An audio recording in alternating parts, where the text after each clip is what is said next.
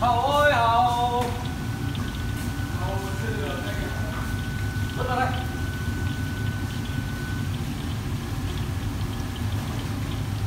Rửa hai ba nước đi cho vứt